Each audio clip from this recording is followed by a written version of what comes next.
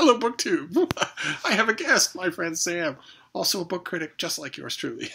Uh, and I, I have other things that I want to do, but there's mail here, and it's been eating away at me. So I want to, I, wa- I wanted to open it on camera. I figured you were game. to open mail, yes.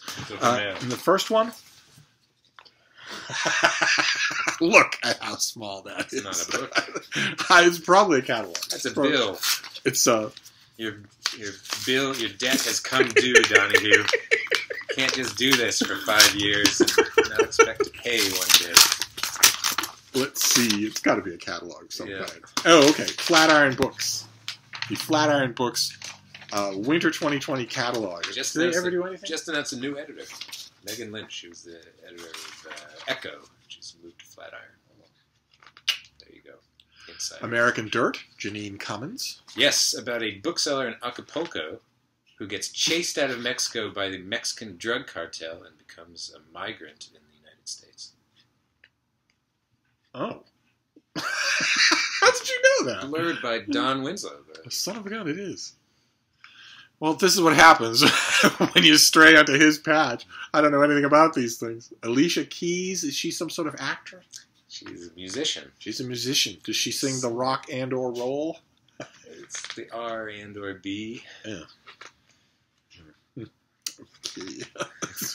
what would you do without me on this particular? I know I would be lost. Uh, Cured by Jeffrey Rediger, The Life Changing Science of Spontaneous Healing. Uh-huh. And a history of the NRA. Uh-huh. Sarah Kendzior. Oh, look at that. Sarah Kendzior's book. Uh, some of you might follow her on Twitter. She's a very good, as you put it, a very good follow on Twitter. And this is Hiding in Plain Sight, the invention of Donald Trump and the erosion of America. She's all, on Twitter, she's all about uh, an international crime cartel. That's what she describes Trump's businesses and the current White House as. Uh, the Yellow Bird Sings, that's a novel? Yeah, historical novel? Um, curious mix of sort of the bogus diet and healing books and and uh, novels, just literary novels. novel about Jane Austen Yeah. called Miss Austen by Gill Hornby. Sam Wasson's next book. Did you read his book on improv? No. His uh, what was it called? He's the author of six books, including the best-selling Fosse, Fifth Avenue, 5 A.M., Audrey Hepburn, Breakfast at Tiffany's, and The Dawn of Modern Women. But but his last book was not any of those. It was a history of improv. It doesn't seem to be listed here. All right, well, uh, book on Rust. Steve Cavanagh's new book, Twisted. He's the one who did 13. The killer isn't on trial. He's on the jury. All right, so this is this is the uh, this is the Flatiron Books catalog. Anna K. Oh, there's a YA update of the Anna Karenina story, Anna K. Oh, how wonderful. all right, good. All right, so a catalog. Fine. Uh, all right, so let's uh, let's let's forge on. Oh. okay, this is 2020. Uh, this is a respected man about town, a well-known burgermeister in his town, who, when the Nazis came to power, it's a perfect example of what the Nazis did. They didn't just make good people do bad things; they allowed bad people to do bad things. Suddenly, in your town, you suddenly realized who the worst people were, and this this ordinary burgermeister became the butcher of Latvia. So, uh, and this is wow, this is a book about his apprehension. Fantastic by Stephen Stephen Talty. That name rings a bell. Uh, he wrote the Black. Oh, the Black Hand is the one I read. Agent Garbo and a Captain's Duty. But I only read uh, the Black Hand by him. Uh, but anyway, I, I know the story about here. The, great to see there's a book on here. This is this is great reading. Uh, this is the untold story of an Israeli spy's epic journey to bring the notorious butcher of Latvia to justice. It's the case that altered the fates of all ex-Nazis, pushing the German legislature into a dramatic debate and massive vote to redefine Nazi war crimes as never expiring. Because at the time, this was in the 60s, wasn't this? this was in the early 50s, something like that? 1965, the statute of limitations on most Nazi war crimes was going to run out. Oh. So Mossad, Israel sent Mossad to help track this guy down. They Right. didn't want him to suddenly say, well, statute of limitations, maybe. So you know the butcher of Latvia has the the condo next door, and there's nothing we can do about it. So they they sped up the clock to find him, and the details are incredible. One of the agents got to know him, disguised his face, his voice, his past, and actually got to know him in terms of we're going to have coffee and we're going to play chess every morning. Got to know him personally, day by day, until he could arrest him and have him sent to trial.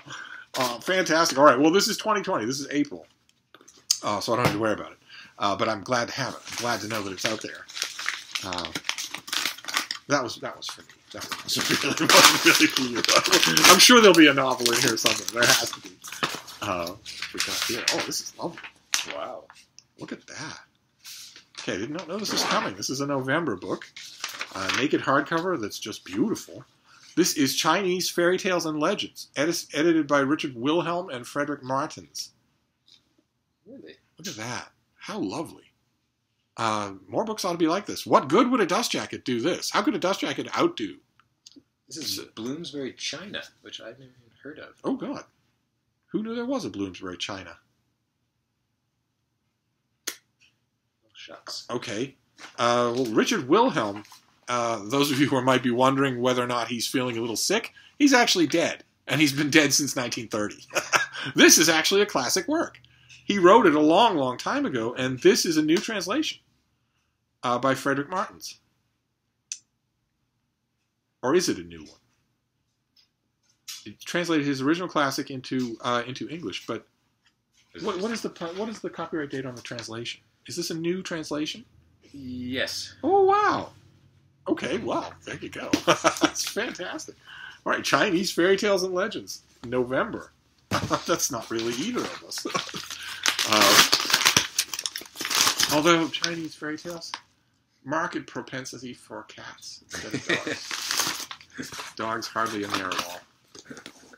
Oh God. Okay, well here's a novel, but this is a paperback original. No, What is this this? came out last year. Oh, it did. All came So this, earlier this year. Oh, okay. So this is a reprint of. Uh, we might have seen it on this channel. This is The Heavens by Sandra Newman. It's not ringing quite a bell with me. Is that is that a? Uh, Even though it's not advertised as such, it's essentially a rewriting of Ursula K. Le Guin's The Lathe of Heaven. It's no kidding. It's basically the exact same. Is that a. Vermeer in the background?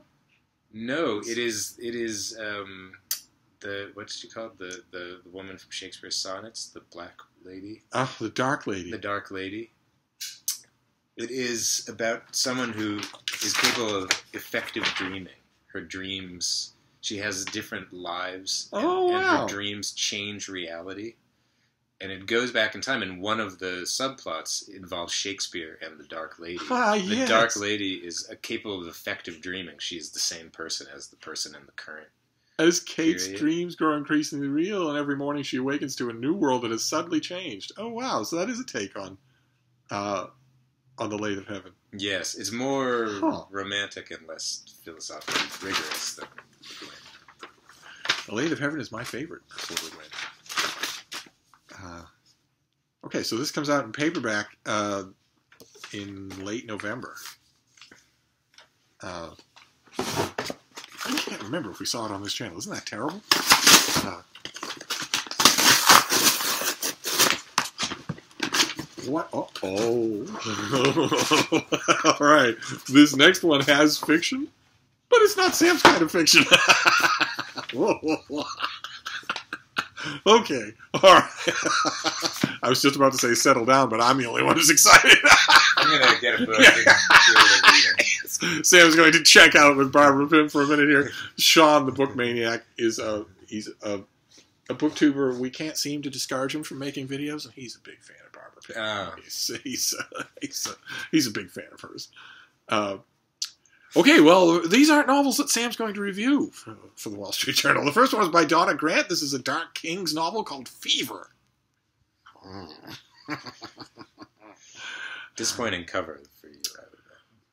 Uh, I'll learn to live with it somehow. Uh, his kiss was fire and passion. She shivered, wondering how he knew just how to touch her to send her spiraling into an abyss of pleasure. Was Penelope Lively ever write anything like that? Ask you. Jeez Louise. And then the next one, uh, we're putting clothes on for the next one, not him and I. That's totally gross. The the uh, the model is putting clothes on. This is by Soraya Lane, and it's called Once Upon a Cowboy Christmas. It's the most wonderful time of the year at the Ford family ranch. Will one cowboy's homecoming be the greatest gift of all? That sounds like a very chaste and modest and demure one. Yeah, we have a we have Fever, opposite yeah. sides. All right, something for everybody in this uh, in this mail haul. Uh, we do. I, I meant to say we do end with a box, uh, but the box is sus- suspiciously light, so it could be just a, a big paperback of some kind. Oh right, okay, all right. This is from the brainy folks at Harvard University Press. We got the advance copy of this, I haven't touched it. Good lord, this is mid-November. This is Orlando Patterson's The Confounding Island, Jamaica, and the Post-Colonial Predicament. Uh, we read all about this just a few weeks ago. This is a, a, by a, a preeminent sociologist and National Book Award winning author, and it's all about uh, the mystery of Jamaica, the weird place called Jamaica. place I've never been. But it has its own very specific culture and history, Yeah, very and distinct. music and literature and I- everything. I've been there three times, and I didn't like it any one of those times. I was it was hot, and there were bugs everywhere. so even even long before most of you were born, I was going to exotic places and making crabby old man complaints. uh, and then the box, the box, and then we'll be done. Uh, what have we got here?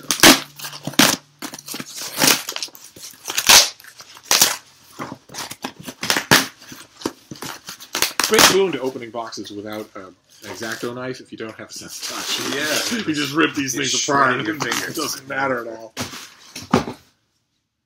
Oh my! Miss Austen again. Oh my! Yes, it's Miss Austen again. Do we have uh, any kind of paperwork? No, there's no paperwork at all. All right. Well, I don't know anything about this thing. Then I don't know when it comes out or not, but I know there are going to be quite a few of you who are going to suddenly uh, tense up in your garnets this. This is by Rory Muir, and it is "Gentlemen of Uncertain Fortune: How Younger Sons Made Their Way in Jane Austen's England." Fairly hefty thing uh, from Yale. But the Jane Austen's England is just there. It's just referring to a period of time. Yeah. It has nothing to do with Jane Austen. It has nothing to do with. Although she she had such a person, I wonder if they'll they'll talk about the men in her family. Uh-huh. Uh, Oh, she had a brother who was a young, who was a yeah, she had she had uh, a, a brother who. Well, he's got to be in here. He's just got to be. So the Uh, idea what was his name? Edward. the idea is the firstborn son inherits the. Firstborn son inherits everything, and then the So what do the others do? what do the others do? One of them will go to, into the clergy. One of them will go into the army. Right. Uh, Right. then there's Wilson Shugart, who started a booktube channel. He was he was. I, that they start book to, He did, Today's, yes, I did. Today's day and age. I did- well, no, this booktube this would have been. Wilson's day and age as well. I, I can't remember which of Jane Austen's brothers he was. I don't know if he was the youngest or if he was or if he was. Yeah, okay. There's there's Edward. Oh, okay. There's there's Edward. A bit of a fop, was he? A bit of a fop, yes, much like Wilson. Yes. Oh, that that's not a bad portrait. Uh, except no dog. But you got the classical ruins. All right, well that's interesting. I, I'm assuming this is a November release. Yale's pretty good about that. Uh, all right, so an unexpected end on history. So we have Gentlemen of Uncertain Fortune about what Wilson Shugart does all day long. then, then the Confounding Island about Jamaica. Uh, don't want to cause anything to. Oh happened anyway. This is a pretty interesting little mail haul. We have the the Heavens by Sandra Newman, and also Chinese fairy tales and legends by Richard Wilhelm, who wrote it a long time, wrote before World War II. Uh, and then The Good Assassin. I'm kind of wondering if this thing's ever had an English translation before. Ah, oh, because he wrote it in German. You're saying. Kind of nice that that uh, Bloomsbury made it such a nice production. That's and then uh, we don't want to mess. We don't want to forget these. There's uh, uh, Once Upon a Cowboy Christmas uh, and Fever. so so we've got romance, contemporary fiction, history, sociolo- sociology, and and uh, mythology. Not, not bad. So there you go. A little your world was covered, a little my world was covered, and a little bit in between. so I'm assuming we're going to make other videos, but uh, Back to Barbara Kim. we'll be back. Thank you, BookTube.